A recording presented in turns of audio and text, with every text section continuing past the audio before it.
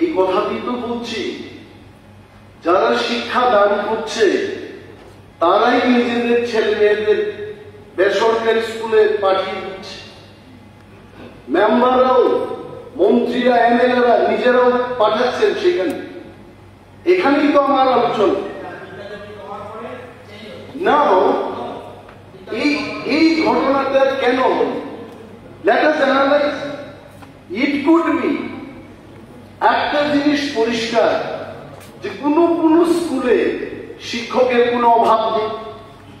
আবার কোনো কোনো স্কুলে দেখা যায়, ত্রিপুরা, এটা এডিসির কথাই বলুন, আর ত্রিপুরা সরকারের কথাই বলুন। আমি যখন শিক্ষা নীতি নিয়ে আলোচনা করব, আমি ত্রিপুরা রাজ্য সরকার বা এডিসিকে আলাদা করে দেখব আমি রাজ্যের কথা বলছি। কোনো কোনো স্কুলে দেখা যাচ্ছে যে প্রথম যে সাবজেক্টে গিয়ে ক্লাস করবে, তার টিচার নেই। তার মানে এডুকেশন দপ্তরে শিক্ষক অসমভাবে বন্টন হচ্ছে।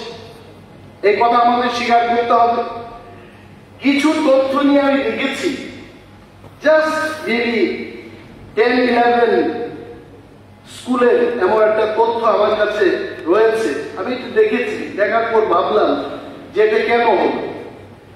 এখানে লিখেছে যে Madan Joy Joykami senior basic school, upper primary. District কোথায়? ধলাই। কোন এলাকাতে আছে? এডিসি ছাত্রের সংখ্যা কত? একশো এক। টিচারের সংখ্যা কত? টু এইরকম আরেকটা স্কুল আছে, Jagatpur senior basic school, upper primary, একই ক্যাটাগরি। ডিস্ট্রিক্ট কোথায়? ওয়েস্ট ত্রিপুরা। এলাকা কোথায় নন এডিসি ছাত্র কতজন? বত্রিশ। টিচার কতজন? নয়। ইউ জাস্ট একশো জন স্টুডেন্টের জন্য আপনি দুইটা টিচার রেখেছেন। অন্য ক্ষেত্রে দেখা যাচ্ছে বত্রিশ জন স্টুডেন্টের জন্য আপনি নয় জন স্টুডেন্ট রেখেছেন। তাতে কি হচ্ছে?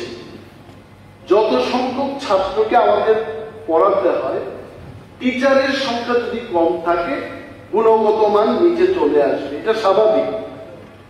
আরও একটা জিনিস দেখেছি I am analysing I not criticising আরও একটা জিনিস দেখেছি যে কিছু কিছু টিচার হোম পোস্টিং নিয়ে সারা জীবন সেখানে চাকরি করছে। এবং কিছু কিছু টিচার বাড়ির বাইরে গিয়ে তার পরিবারকে দেখতে পাচ্ছে মা বাবাকে দেখতে পাচ্ছে ছেলে মেয়েদের সাথে থাকতে পারছে।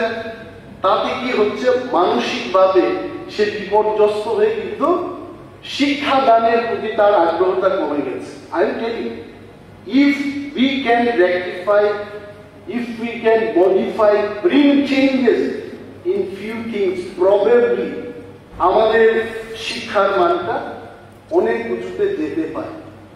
আরও একটা জনগণের থেকে এটা আমার কথা। আমরা জনগণের সাথে কাজ করি জনগণই শেষ কথা বলি আমি অনেক সময় জিজ্ঞেস করি যে কেন এই শিক্ষানীতির বিরুদ্ধে আপনারা যারাই একশো, দুশো লোক যারাই কথা বলছেন লক্ষ লক্ষ মানুষের কথা বলছে। কেন বলছেন এই শিক্ষা দপ্তরের বিরুদ্ধে, শিক্ষানীতির বিরুদ্ধে কেন কথা বলছেন? বলছে, স্যার আপনি তো এখন পড়াশোনা করেন না। সকালবেলা একটা রুটিন বেরিয়েছে বিকেল বেলায় চেঞ্জ হয়ে। তারপর এই যে হঠাৎ করে ধরুন একটা ছুটির সময়, ছুটিটা খুলেই পরীক্ষায় ফেস ফেস করতে হবে।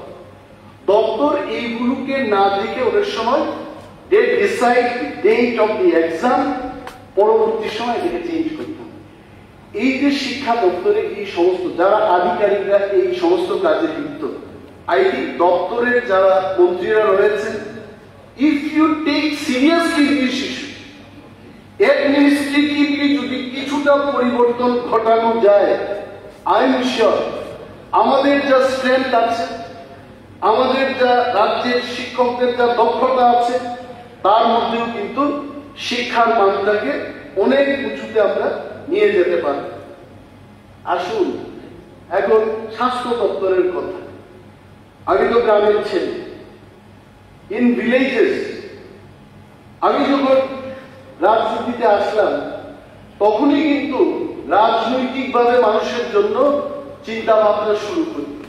When I was working in multinational company, তখন আমার দরকারও ছিল না। এগুলি নিয়ে ভাবতাম না। নাও আই স্টার্টেড থিঙ্কিং আমার গ্রামের যে primary health centre primary health সেন্টারে গিয়ে জিজ্ঞেস করলাম যে প্রাইমারি হেলথ সেন্টারে কতজন ডাক্তার থাকা দরকার? স্ট্যান্ডার্ড তিনজন ডাক্তার থাকতে হবে। এবং উপস্বাস্থ্য কেন্দ্রে মিনিমাম একজন করে ডাক্তার বাবু সেখানে গিয়ে রোগীদের চিকিৎসা করবে। এই হচ্ছে স্ট্যান্ডার্ড নো কিন্তু দেখা গেছে ম্যাক্সিমাম প্রাইমারি হেলথ সেন্টার গ্রুপে তিনজন করে ডাক্তার বাবু নেই। তাহলে গ্রামের মানুষ স্বাস্থ্য পরিষেবা কি করে পাবে। আমরা যে চিৎকার দিয়ে বলব, আমি বলছি না, আমিও যদি সেই বেঞ্চে থাকতাম, আমার সরকারের ভালো কথা আমি বলতাম, এটাই শ্রেয়। কিন্তু তার মাঝেও তো আলোচনার কিছু সুযোগ রয়েছে। যেমন আজকে বিজেপি আইডিএমপি সরকার যাই করতো আমিও করছি।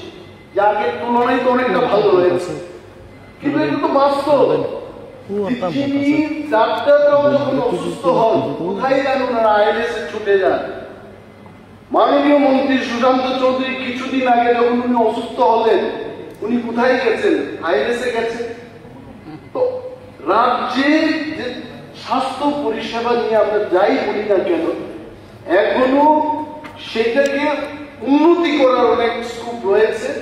আরও অনেক কিছু করতে হবে। মাননীয় মুখ্যমন্ত্রী নিজে উনি doctor and he will take this matter seriously আরও একটা জিনিস লক্ষ্য করুন, স্বাস্থ্য দপ্তরে কি হচ্ছে?